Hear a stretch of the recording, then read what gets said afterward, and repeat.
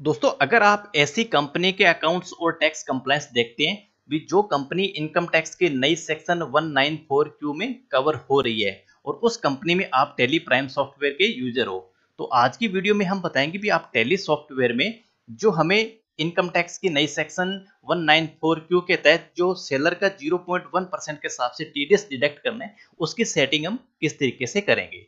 तो दोस्तों purchase voucher की 194 क्यू सेक्शन के तहत परचेज वाउचर की एंट्री हम टेली सॉफ्टवेयर में कैसे करते हैं, इसका मैंने सेपरेट वीडियो बना दिया है। लेकिन फिर भी हमारे कुछ व्यूवर्स की स्पेशली क्वेरी थी, ये जो टीडीएस डिडक्ट की जो ऑटो एंट्री है, यानी कि ऑटोमेटिक 0.1 परसेंट के हिसाब से कैसे कैलकुलेट करेगा 50 लाख की अमाउंट को छोड़ के। तो ये हमारे से हो नहीं रहा है और नहीं हमारे से पर्टिकुलर 26 क्यू की जो टीडीएस रिटर्न है वो सही तरीके से जनरेट हो रही है। तो आज की वीडियो हम दोस्तों आपको केवल टीडीएस से संबंधित ही जो ऑप्शन है, उसके बारे में बताएँगे। तो दोस्तों, वीडियो सारी प्रैक्टिकली रहने वाली है। भी आपको टीडीएस को एक्टिवेट करने के साथ साथ और कौन कौन से फीचर्स को इनेबल करना है। तो इस वीडियो का कोई भी स्टेप आप स्किप मत करना, क्योंकि आपने कोई भी स्टेप अगर स्किप कर दिया तो हो सकता है आपकी टीडीएस कैलकुलेशन में या फिर 26 क्यू रिटर्न तैयार करने में प्रॉब्लम हो सकती है। तो वीडियो शुरू करने से पहले आपसे एक छोटी सी रिक्वेस्ट है। वीडियो अगर आपको अच्छी लगे तो लाइक ज़रूर कर देना। अगर आप चैनल पर नए हो तो चैनल को भी सब्सक्राइब करने के साथ साथ नोटिफिकेशन बेल को भी ज़रूर ऑन कीजिएगा, ताकि हमारी आने वाली हर नई नई वीडियो का नोटिफिकेशन सबसे पहले आपको मिले। तो नमस्कार दोस्तों, मैं हूँ मोहन सुतार और आप सभी दोस्तों का हमारे यूट्यूब चैनल पे बहुत बहुत स्वागत है। तो शुरू करते हैं आज का ये वीडियो तो दोस्तों टेली सॉफ्टवेयर में हम कोई फीचर इनेबल करें या किसी फीचर्स के बारे में समझे, उससे पहले हमने जो प्रीवियस वीडियो में जो 194 क्यू के तहत जो टी टीडीएस डिडक्ट करना है, उसकी परचेज एंट्री कैसे करी थी उसको हम एक बार देख लेते हैं। फिर हम पॉइंट टू पॉइंट उन सभी फ़ंक्शन पे चलेंगे जो हमें इनेबल करने ज़रूरी हैं। तो इसके लिए हम डे बुक पर जाएँगे और ये हमने परचेज वाउचर की एंट्री करी थी और इस परचेज वाउचर की जो इनवॉइस की टोटल वैल्यू है वो 75 लाख यानी कि पचहत्तर लाख रुपए की है। और ये एंट्री हमने किस तरीके से करी है? इस तरीके से हमने, जैसे नॉर्मली हम एंट्री करते हैं, उस तरीके से करी थी। उसके बाद में ये एक सबसे बड़ा रोल अदा करेगा आपकी टीडीएस की कैलकुलेशन को लेके। कैसे ये फीचर आएगा कैसे, इसके बारे में हम बात करेंगे। सबसे पहले हम इसको एक बार इनवॉइस को एक्सेप्ट करते हैं। इस तरीके से हमने इस वाउचर को एक्सेप्ट कर दिया अब हम एक बार 26 क्यू रिटर्न को भी देखते हैं कि वो वहाँ पर किस तरीके से जनरेट हुई है।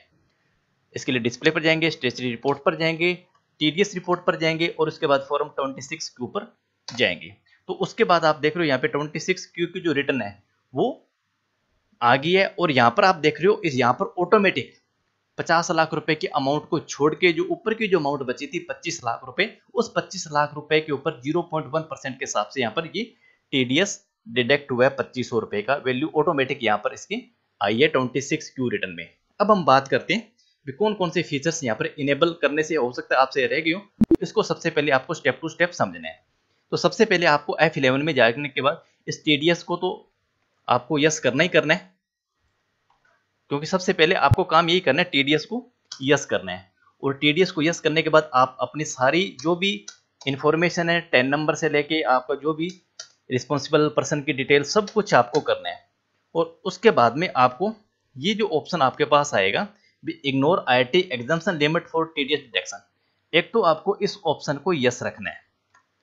और active TDS stock item stock item पर आपको टीडीएस एक्टिवेट करने की ज़रूरत नहीं है तो इसलिए इस फ़ंक्शन को हम कर देंगे यहाँ से नो।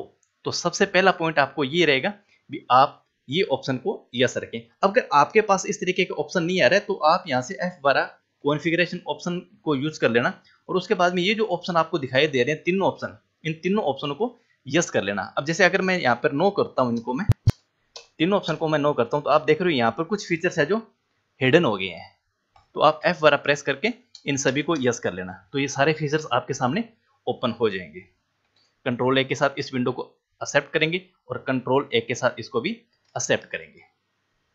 अब हम सबसे पहले उसके बाद में टीडीएस को एक्टिवेट करने के बाद में टीडीएस की जो नेचर ऑफ़ पेमेंट क्लास है, वो हमें क्रिएट करनी पड़ेगी। तो हालाँकि मैंने कर रखी है, आपको कैसे क्रिएट करनी है वो आपको बता देता हूँ मैं।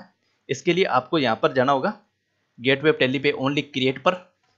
क्रिएट पर जाने के बाद आपको स्ट्रेचरी मास्टर में आपको ऑप्शन दिखाई देगा, यहाँ पे टीडीएस नेचर ऑफ़ पेमेंट इसको आपको सेलेक्ट करना है और उसके बाद में आपको यहाँ पर 194 क्यू की जो सेक्शन है, वो यहाँ पर उसकी फिलअप आपको डिटेल देनी है। कैसे देनी है? वो आपको मैं अल्टर करके दिखा देता हूँ, जो मैंने ऑलरेडी बना रखा है। इसके लिए मैं अल्टर पर जाऊँगा और वापस टी नेचर ऑफ़ पेमेंट पर जाऊँगा और उसके बाद में मैंने इस नाम से यहाँ पर बना के रखी हुई है। तो आप देख रहे हो, मैंने इस नाम से अपने TDS on purchase of goods इसकी सेक्शन 194 क्यू है, जो इसकी पेमेंट कोड है वो 94 क्यू है। और उसके बाद में आपको यहाँ पर रेट भी वो सारे देने पड़ेंगे।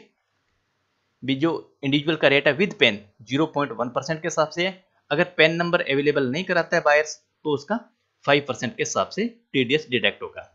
और उसके बाद में आपकी इसकी जो दियर शोल्ड या एग्जामेशन लिमिट है पचास लाख रुपए की, वो यहाँ पर आपको देनी पड़ेगी।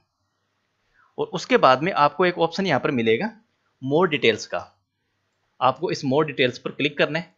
आप उसके बाद में ये टीडीएस डिटेल्स की हिस्ट्री आपके सामने आ जाएगी। इंटरप्रेस करोगे तो ये सारा इंफॉर्मेशन आपको यहाँ आ जाएगा सारा जो अपने नेचर ऑफ़ क्लास में वहाँ पर डाल रखी है।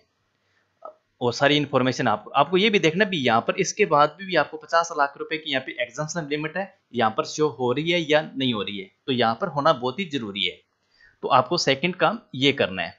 यानी कि जो टीडीएस की है नेचर ऑफ़ पेमेंट उसको क्रिएट करना है। अब बात आती है पॉइंट नंबर तीन की। अब पॉइंट नंबर तीन को अब क्या करना है? जब भी आप अपने सप्लायर्स का लेजर क्रिएट करोगे, जैसे कि मैंने कर रखा है अल्टर पे हम जाएँगे लेजर पर जाएँगे, जैसे कि मैंने सुमित एंड कंपनी से ये गुड्स परचेज किया है। तो जो भी हम गुड्स परचेज करेंगे तो उस कंडीशन में आपको ये ऑप्शन दिखाई देगा स्ट्रेची डिटेल में इज़ टीडीएस डिडेक्टेबल इसको आपको यस रखना है और उसके बाद में डिडेक्टी टाइप तो ये आपको सेलेक्ट करना है उनके पेन नंबर के अकॉर्डिंग भी वो इंडिविजुअल है एच है कंपनी है, या फिर पार्टनरशिप फर्म है, जो भी है, और उसके बाद में ये दो ऑप्शन आपको दिखाई देंगे। और ये ऑप्शन आपको कब दिखाई देंगे? जब आप, जैसे कि अब मैं यहाँ पे F12 प्रेस करता हूँ, और F12 अगर आप प्रेस करते हो तो आपको ये ऑप्शन दिखाई देंगे टीडीएस डिटेल के बारे में। अगर, जैसा कि मैंने यहाँ पर इसको नो कर दिया तो नो करने के बाद में अब आपको केवल एक ही ऑप्शन दिखाई दे रहा है be deduct TDS in same voucher same voucher में आपको करना है या नहीं करना है? अब करना है, इसके बारे में बताता हूँ। एफ़ बारह प्रेस करेंगे, वापिस हम इसकी जो allow advance entries in TDS master है, इसको वापिस यस करेंगे। इसको हम करते हैं यहाँ से यस इसको। और यस करने के बाद आपको जो T TDS detect same voucher है, इसको तो कर देना आपको नो और उसके बाद में यूज़ एडवांस टीडीएस एंट्रीज है, इसको आपको कर देना यस आप जैसे इसको यस हम करेंगे उसके बाद में आपसे ये ऑप्शन फिर मांगेगा एडवांस टीडीएस एंट्रीज के लिए इग्नोर सरचार्ज एग्जाम्शन लिमिट इसको यस कर देना है और उसके बाद ignore income tax exemption limit इसको एप्लीकेबल रखना है। और उसके बाद में set alter zero low deduction इसको नो ही रखना है। ये आपको तीन नंबर काम आपको ये करना है। अब ये तीन नंबर जब आप काम हम कर लेंगे तो उसके बाद में आपको परचेज वाउचर की एंट्री करनी है। तो परचेज वाउचर की एंट्री करने के लिए आपको, जैसा कि मैंने यहाँ पे कर रखा है आपको मैं दिखा देता हूँ। अब जैसे आप परचेज वाउचर पे आओगे, अपना वाउचर नंबर डेट वगैरह, सब कुछ इन्फॉर्मेशन पार्टी का अकाउंट नेम यहाँ पर आप सिलेक्ट करोगे। स्टॉक आइटम सेलेक्ट करोगे क्वांटिटी रेट यहाँ तक सब कुछ सही हो जाएगा। यहाँ तक आपके जो परचेज का लेजर अब ये आपके सामने ऑप्शन यहाँ पर आ जाएगा। ये ऑप्शन आपके पास तभी आएगा जब आपने यहाँ तक के तीन स्टेप आपने फॉलो कर लिए हैं तो। अब अगर मान लीजिए, अगर ये ऑप्शन आपके पास यहाँ पर नहीं आ रहा तो एफ़ बार अगर आप प्रेस करोगे तो एफ़ बार प्रेस करने के बाद में, एक मिनट, आपको बैक आते हैं और यहाँ आने के बाद एफ़ बार प्रेस करोगे तो एफ़ बार प्रेस करने के बाद में आपको टीडीएस डिटेल में ये ऑप्शन आपको यस करना है। अगर ये modified tax detail for TDS इसको यस रखना पड़ेगा। अगर आप इसको यस नहीं रखते हो तो ये विंडो आपके सामने ओपन नहीं होगी। तो अगर उसके बाद अब बात आती है असेसेबल वैल्यू की। असेसेबल वैल्यू का मतलब क्या हो गया? बी जो आपकी एग्ज़ाम लिमिट है एग्ज़ाम लिमिट का मतलब अब जैसे कि यहाँ पर इसकी जो इनवॉइस वैल्यू आप यहाँ पर देख रहे हो तिरसठ लाख पिचपन हज़ार नौ सौ बत्तीस रुपए और बीस पैसे की है। और जबकि हमारी एग्जाम्सन लिमिट है वो पचास लाख रुपए की है। तो हमें पचास लाख को एक बार साइड में छोड़ना है और उसके बाद की वैल्यू कितनी बनती है? तो इसके बाद की जो वैल्यू बनती है वो तेरह लाख पिचपन हज़ार नौ सौ बत्तीस रुपए। तो पचास लाख रुपए की जो अमाउंट है वो टैक्सेबल अमाउंट से ही पहले डिडक्ट हो चुकी है, यानी कि क्रॉस कर दिया उसने। तो ऊपर की जो अमाउंट है उसको मेरे रखना है। उसके बाद में आपको सीजीएसटी टैक्स का जो भी आप लेजर क्रिएट करोगे तो सीजीएसटी टैक्स के अंदर भी आपको यहाँ पर टीडीएस एप्लीकेबल करना पड़ेगा। और इसका जो नेचर ऑफ़ क्लास जो पेमेंट पूछेगा तो हमने जो TDS on purchase of goods का जो नेचर ऑफ़ क्लास बनाई थी टीडीएस की वो ही सिलेक्ट आपको करनी है यहाँ पर। और ये आपको वैल्यू जो आपने परचेज का जो लेजर बनाया है परचेज के लेजर में भी आपको ये टीडीएस एप्लीकेबल करना पड़ेगा। और नेचर ऑफ़ पेमेंट में भी TDS on purchase of goods का जो हमने टीडीएस नेचर पेमेंट बनाई थी वही आपको यहाँ पर सिलेक्ट करनी है।